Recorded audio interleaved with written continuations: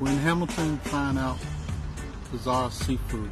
I got a seafood basket, but I also wanted to try their raw fish, and I also got a paua fritter. I'm gonna try the raw fish now. Mm.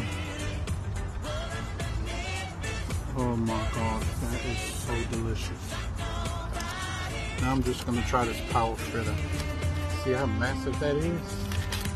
Just gonna try it now. Give it a go. Mmm. That's a bit different. Now I'm gonna take this and dump it into my raw fish and see how that goes.